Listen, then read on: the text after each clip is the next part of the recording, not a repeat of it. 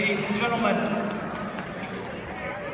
it's a great pleasure to get to introduce our Miner legend tonight. Before he came to UTEP, he left Panola Junior College as the all-time leading scorer in the history of junior college basketball. He averaged over 35 points a game and 15 rebounds in junior college. Then he came to UTEP, was a Miner from 2003 to 2005. He appeared in 67 games for the Miners. 61 of those games he scored in double figures.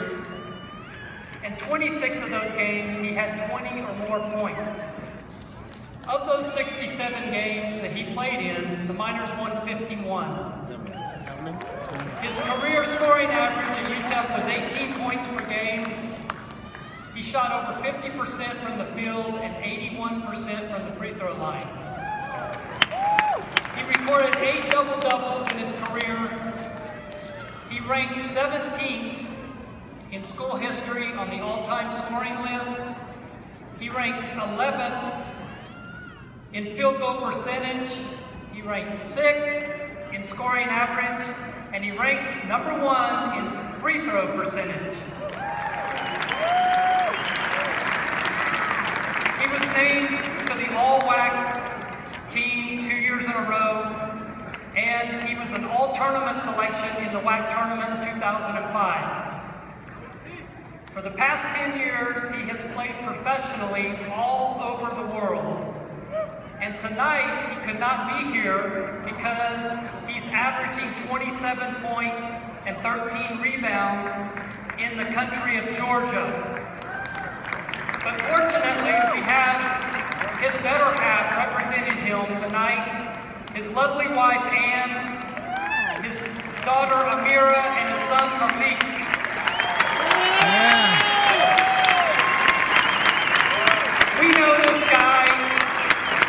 His name's Omar Thomas, but we know him as OT, number 33, OT. Yeah.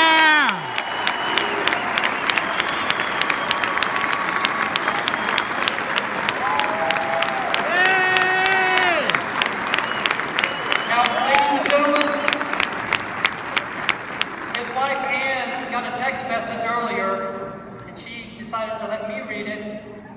And this is from Omar. And he says, first and foremost, I thank God that he's given me the opportunities I've had to not only represent UTEP, but to be able to play all over the world. I want to thank all the fans for your support and love over the past 10 plus years and to tell you all that I'm blessed because of each and every one of you. I'm thankful for UTEP because it gave me the opportunity to meet my wife and raise my children here.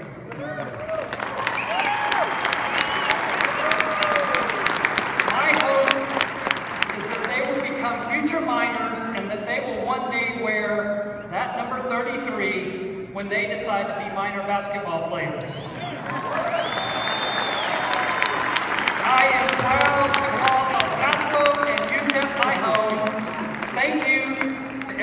made this possible, the honor is all mine.